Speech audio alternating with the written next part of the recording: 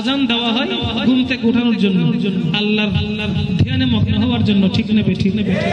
সুতরাং আজান হবে, ফজরের আজান হবে, ঘুম থেকে যে আল্লাহর দরবারে সেজদা করবেন। আল্লাহ খুশি হবেন হবেন জীবন জীবন সুন্দর হয়ে যাবে। বলেন না সুবহান এই আজানের কয়েকটি ধ্বনি উচ্চারণ করতে যাচ্ছি। শুনতে রাজি আছেন? এখানে আমি শেষ করব। এরপর আমাদের আমাদের আজকের মেহমানে আয়লা উনি ওনার পরিবেশন করবেন করবেন। তো আমি এক লাইন বললে চিৎকার দিয়ে বলবেন সুবহান আল্লাহু আকবার আল্লাহু আকবার আল্লাহু আকবার আল্লাহু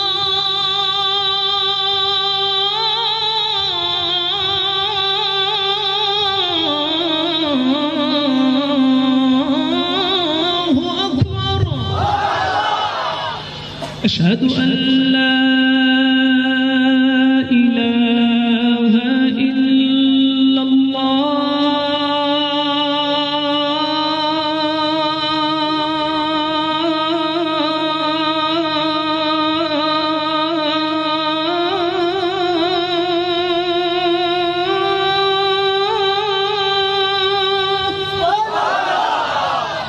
أشهد أن لا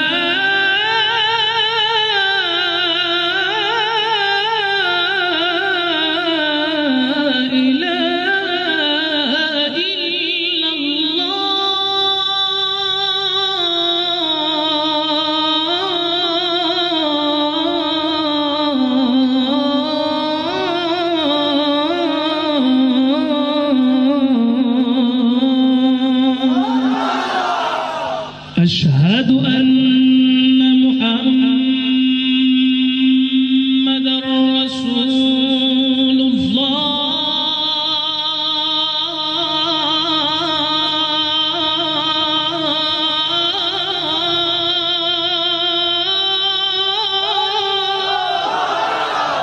أشهد أن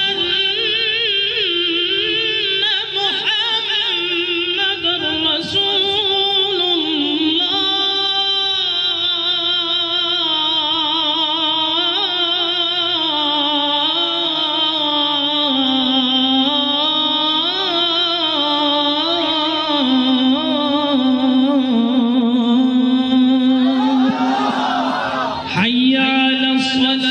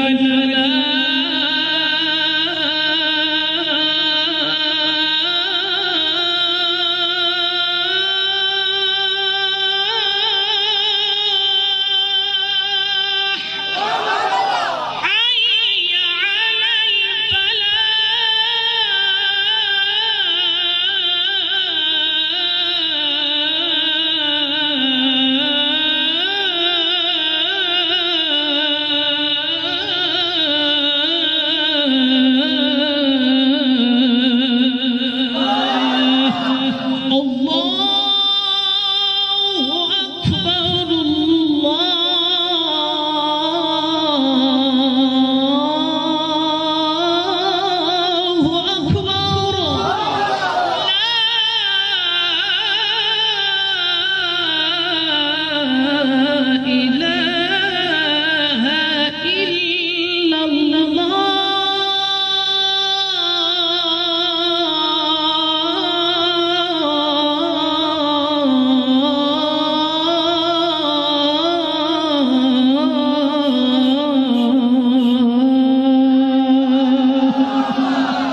বলেন না সুবহান একটা মশালা জানিয়ে রাখি রাখি তারে কাবিদিন বসে বসে আজান দিয়েছে। দিয়েছে এটা ফতুয়া কি?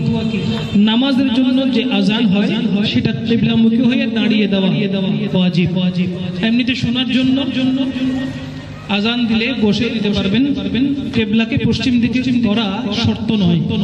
যেমন নবজাত শিশু শিশু যখন জন্মগ্রহণ করে, তখন তার কানে কানে কি আজান দিতে হয় কি না? হয় কিনা তখন কি পশ্চিম দিকে ফিরিয়ে দাঁড়িয়ে কান দিয়ে আজান দেয়? নাকি কানে কানে গিয়ে ছোট ছোট করে আজান দেয়? আজান দেয় সুতরাং আজান দেওয়ার বিভিন্ন বিধান আছে। নামাজের জন্য যে আজান দিতে হয়, সেটা কেবলামুখী হয়ে দাঁড়িয়ে দাঁড়িয়ে আজান দিতে হয়। আল্লাহ বুঝার তৌফিক দান করুক।